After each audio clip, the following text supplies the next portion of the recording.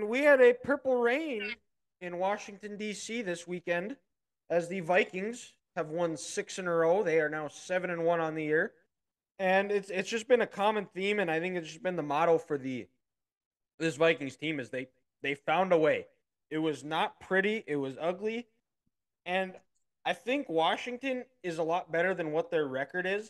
And I think with the news of Dan Snyder possibly putting the team up, or I think I say possibly, but it sounds like a 90% chance that he's going to be putting the team up for sale, that this is. There, there was a little more juice and a little more excitement and energy around FedEx Field on Sunday because, and Paul Allen talked about it on his radio show today, that the Viking, that Washington is a football town and they love their commanders, football team, Redskins, whatever you want to call them. We'll call them Redskins here because that's yep, they're the Redskins. we're used to. And Redskins forever. Redskins forever. Hail. Nah, I can't say that. Never mind. No. Hail, hail to the Redskins. I'll no, say it. Ugh, gross. Yeah. And, and that is a football town, and Paul, and like like I said, that it was there was a little bit more juice. I think the team fed off that, and they made it interesting. But in the end, the Vikings again, they just found a way. And Ethan, where are the chains at? Um, I did not wear them tonight, but uh, Kirk probably still has them on his house. Ooh. I hope Kirk has them on still. He looked great. Honestly, how how happy did he look? That was so cool to see. Since when did Kirk have a freaking six pack? Like the dude is yoked, actually. Dude's an NFL player. Yeah. This shouldn't. I mean, shouldn't I don't think surprise there's a lot of quarterbacks like white quarterbacks that look like him in the NFL. Physically, No, that's. No. like I was impressed. And Yeah. it, it- also, he's got he's got what two kids, Two two, or three. two Yeah, or three. So it's, it's you know he he wears two, the dad Cooper and one more. he wears the dad outfit each week. You know, to his, Yeah. his post, and you'd think, oh, he's got a little little dad bod going there. You know, he's a white quarterback from Michigan. He's Mhm. he's, he's not a specimen by by any means, but the dude looked good. He did. He did. I was my pretty favorite- impressed. My favorite meme from the uh, from the weekend was Kirk Cousins went to she'll be home by ten. Do she calls me daddy too? That's pretty good. Oh, it's fantastic. That But the- damn good. The this is this team is this team they just like find they find a way. They just seem so much more excited to be playing football this year compared to previous years. I saw I saw a video of a speech after after a Zimmer win where it was like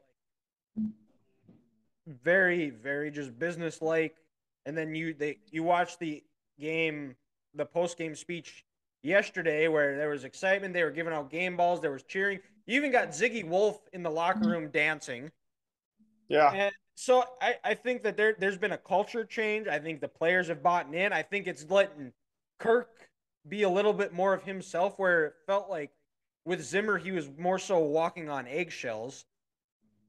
And it, it's reflected. It reflects in the record that the culture that KOC has put in. Congratulations to him, by the way. Just just had a kid. Super Bowl baby, Yeah. Fourth kid. Super Bowl baby. Literally, he did tell the team that. Hey, he had a hell of a couple weeks in February. He won the Super Bowl as a coordinator for the Rams, first time head coach for the Minnesota Vikings. There's a lot to celebrate. Yeah. Oh, oh, Super Bowl. Oh, I got you now. I got Yeah, it. there- there we go. I had, I had to think about that for a little bit. I was like, wait, are you saying he's going to the Super Bowl or No, it happened. It happened Gotcha. then. Yeah. Yeah. He No, literally yeah. told the team, "You guys do the math on that one." Like in, in their first meeting. Like, Yeah. Well, well, who? Uh, Mich- Michigan's tight end Erick All. He had a his son was first born. His first son was born August 27th. So you guys can do the math on that. It's, it's like he beat up Ohio State and then Yeah. uh, then went home and beat up something else that night.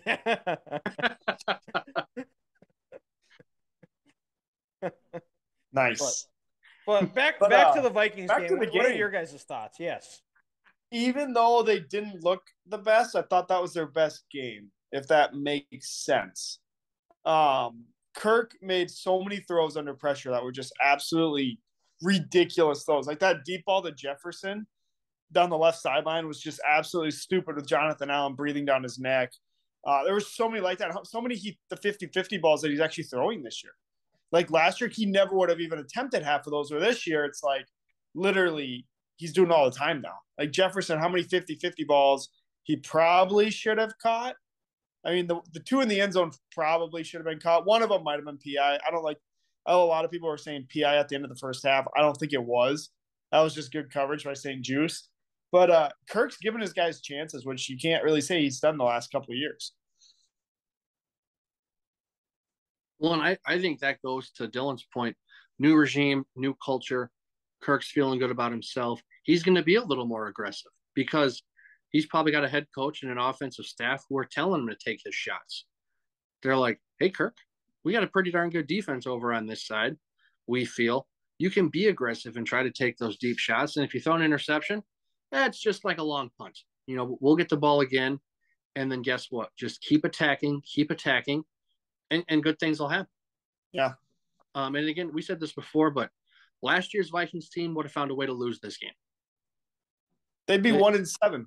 They'd be one exactly. Yeah, exactly. They'd be all these one possession games. They'd be one in seven. Yeah. You know, like actually, last year we're always talking. Oh, what could happen if the Vikings would finish out these games and they'd be fifteen and two? Well, I'm not saying they're going to be fifteen and two this year, but they're finishing out these games and you know they, they got a pretty damn good lead in the division they might they might mess around and win 12 13 games well that and and and, and on the defensive side their pass rush has improved every week where it seems mm-hmm. like Za'Darius Smith and Danielle Hunter are just living in the backfield all the time because I I don't know how many more times they sacked they sacked Heinicke last, last yesterday but it felt like it well, was, you know, it was a good amount. Especially, and their situational pass rushing is impressive too because it seems like anytime it is a third down or a crucial spot in the game, they find ways to get pressure on the quarterback and either get a sack or throw it away or make him throw throw the ball earlier than he wants and it doesn't go where the quarterback wants it to go. Like I don't know what the difference between a hurry and a pressure is, like statistically speaking, but I want to say Za'Darius is first, tied for first in pressures, Danielle's 12th, and then Danielle's third in hurries. So like that's just constant, like from those two, like especially Za'Darius, he's been an absolute menace. Mm-hmm. Well, and, and uh, also, guys, how big was was the addition of T.J. Hockenson this week? First game, oh. nine catches, seventy yards. How many big third down catches? On nine this, targets. On nine targets. This this guy have. They said third down. Washington's like, no, we're gonna jet. We're gonna double team you or we're going to play this cover two shell and you're not going to beat us. Well, Hockenson's just going to come slide in, get nine catches for 70 yards, and you need to catch on third down. He's going to get it for you. And it was cool after the game on the radio. He's interviewing Ben Leber and they said, TJ, how do you feel? And he goes, I'm not going to lie. I haven't won many road games in my career. And this one, this, this one feels pretty good. But, and then he's only going to get better each week um, and, you know, now people are like, well, we can't let Jet beat us. KJ Osborn's a monster on third down. You're going to have one of the best tight ends in the NFL who's what, only 25, you know, on your roster terrorizing yeah. these defenses. I mean, when was the, you know, when was the last time in Kirk's career he had a legit tight end who he could go to and he felt comfortable with? I mean, this, this could be just another weapon for this offense to really take off in these coming weeks when he gets more comfortable you know, with the system and KOC can see what he does well. And then also, not to mention what he's going to do in the run game as a blocker. If you know, get get Dalvin going and then Mattison, this offense could be unstoppable. Well, I feel like this is the first time they've been able to consistently get passes over the middle. I feel like everything for the first part of the year has been outside the numbers, where now mm-hmm. they have Hockenson that just literally all he did was roam the middle and they had no answer.